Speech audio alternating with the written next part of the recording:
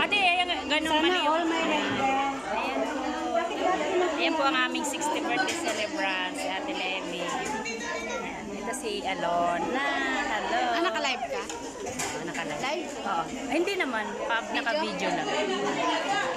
My 60th birthday!